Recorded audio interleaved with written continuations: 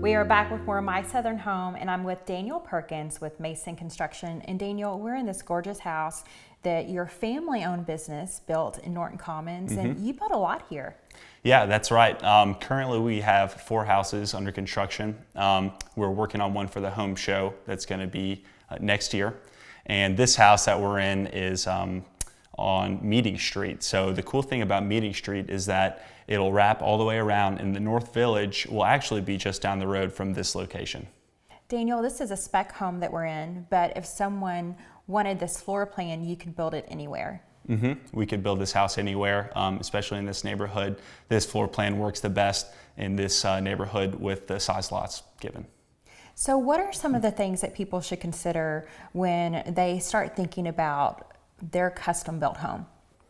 Um, so a few things that Mason Construction does differently is we have our uh, specialized trim carpenter who installs the basic amount of trim packages. So for example, in Norton Commons, um, this neighborhood is a little bit different from their architectural standards. Um, we have 10 foot ceilings in this, this neighborhood, uh, which uh, allows for eight foot doorways, which gives a nice, uh, more luxurious vibe to the homes here. Um, another example is our vendors. So we use the best vendors in the city um, from masonry, your exterior veneer, to your plumbing and lighting fixtures to your cabinets.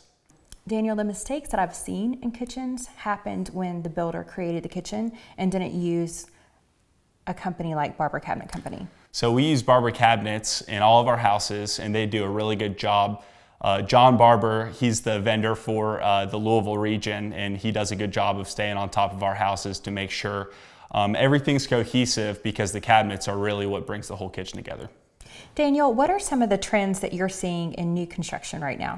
Well, for one, open floor plans are all the rage today. Um, you come into this house and the living room and the kitchen is almost like the same room. So that allows for your big families gatherings to be able to host everybody, especially in a home like this.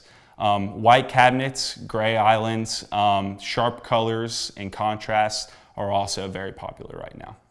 So what's the process when someone decides that you know I want to build my home next year, what are some of the things that they need to do that that leads up to that decision?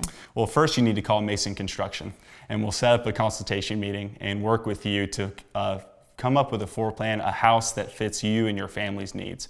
Um, we mainly build dream homes for people, and wherever that suits you in East Louisville or Oldham County or wherever it is around the state, we'll be glad to help you and accommodate you and your family's needs. Well, thank you so much, Daniel. We really appreciate it. Yeah, well, thanks for having us on, Kim. We'll be back with more My Southern Home in just a moment.